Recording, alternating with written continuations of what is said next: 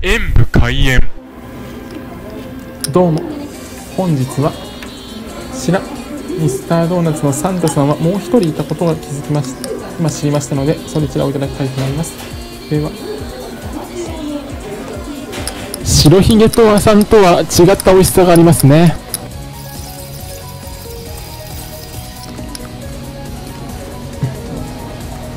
いわゆるゴールデンクランチですねココナッツとはまた違ったザクザク食感がとても美味しかったです。チョコレートはちょっとビターで白に比べると大人向けって感じかな。なのでこちらの点数とさせていただきました。もちろん大人向けの方がいいんですけどね。大人にもサンタさん来てほしいですし。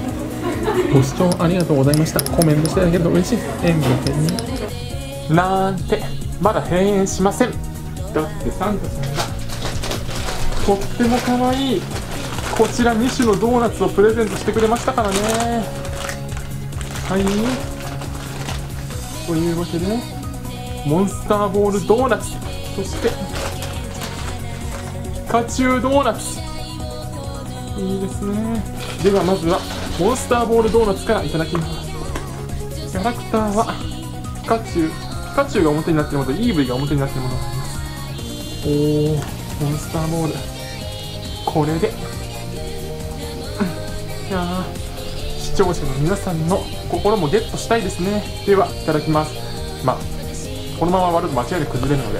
このボールってこうなってるんですね。続きましてはピカチュウもいただきます。ちょっとかわいそうな気もしますけど。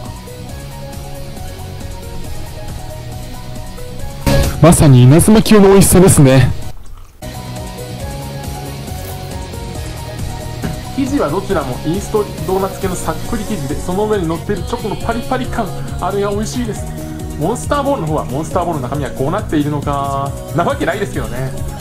ボタン部分のチョコレートが割と歯ごたえがあってしっかりとチョコレートの甘さを感じることができて美味しかったです。